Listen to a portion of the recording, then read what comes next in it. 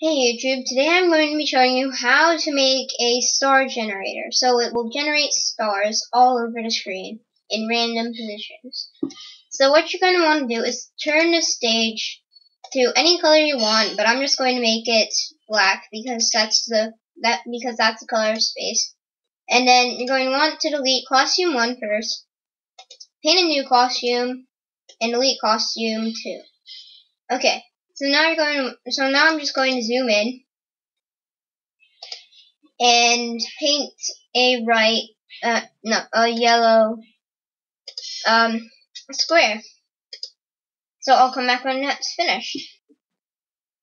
Okay, so when you're finished, you're going to want to go to scripts and add a when flag clicked. So you're just going to make him go wherever you want, so I'm just going to make him go to x0, y0.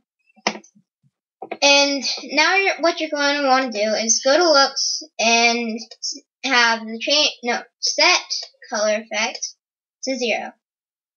And then you're going to want to set size to 100%. So, now if I drag the, the, um, sprite over here, he's just going to go back to the center. And, um, if I change the color effect to 50 real quick, and then I'm going to set it back to zero. So now if I drag him all the way over here, he'll, his color effect will change and he'll go back to the center.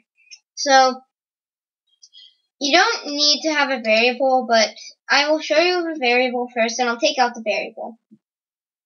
So I'm just going to name this total amount of stars generated. Okay. So you're going to set that to zero.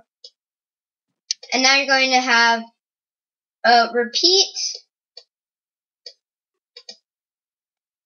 total amount of stars generated.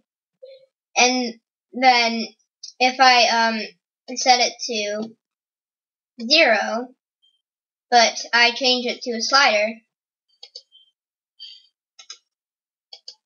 And I move it all the way up. Oh. And I move the amount of the slider to 100. Now I have him move to, no, go to pick random, and um, you're just going to need two pick randoms, one in the X, one in the Y, and um, now you're going to need how many x and y there is. So I so what you're going to want to do is you're going to want it is your uh, to find this out. You're going to want to put your mouse in the black area or what or um whatever color you made it. Then you put it outside of uh, of it, and now you can see that your x is now 240. So I'm going to make that negative 240 to 200 to positive 240. And now for the y, what you're going to want to do is put it below. So now it's going to say negative 180. So now I know that I'm going to do negative 180 right here.